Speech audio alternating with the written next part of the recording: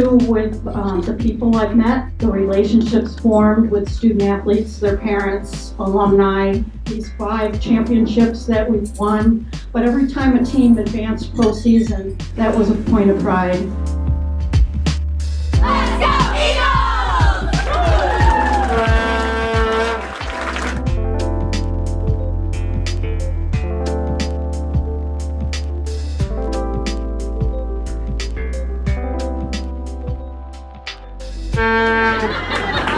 Thanks, Dad. I needed that.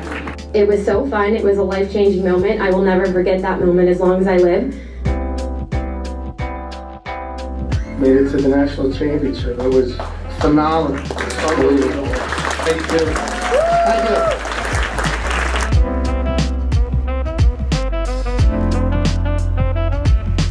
When we get together, we don't talk about winning a game. We talk about like running away from the RAs or whatever, wha- whatever, Joe.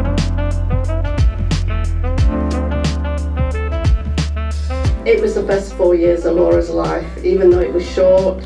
She's made wonderful friends, and, and I have too. I mean, the girls are so good to us, and I can't ask for anything else. And thank you, Pat. Pat's been a, my strength. As soon as we refinish the court this spring, it will be named the Pat Thompson Court.